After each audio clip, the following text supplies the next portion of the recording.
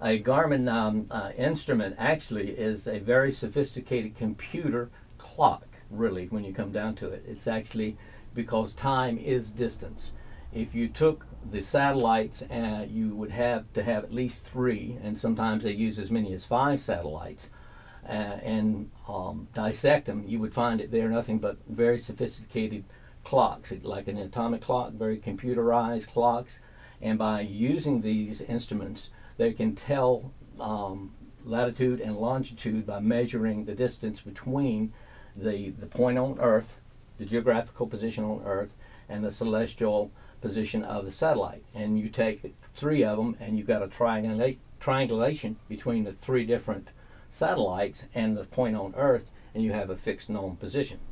And uh, so they made life at sea bearable instead of having to use a sextant, which would take you sometimes hours to get a very good sight, and sometimes you go days without even getting a sun sight, and because of a cloud over uh, overcast, or at night you couldn't see the stars, you'd have the same problem. So a sextant uh, was a very modern instrument and very uh, an instrument was very accurate, and it could be used to find a position at sea, but it had some drawbacks, and one of those was the uh, conditions your weather conditions. And you have instant navigational reference points, instantly.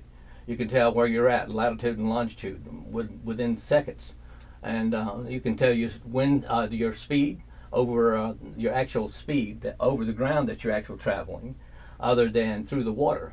You know, because there is a difference. You can have water speed be one speed, and uh, speed over the ground, because you're actually moving with the satellites, actually tracking your actual speed. So there can be a difference. It's more accurate than your speed over the water. So Gonzalez, uh, you think endorses? I would think Gonzalez would endorse strongly. He would be surprised. He, it would be beyond his wildest dream. It would be magical, something he could not comprehend.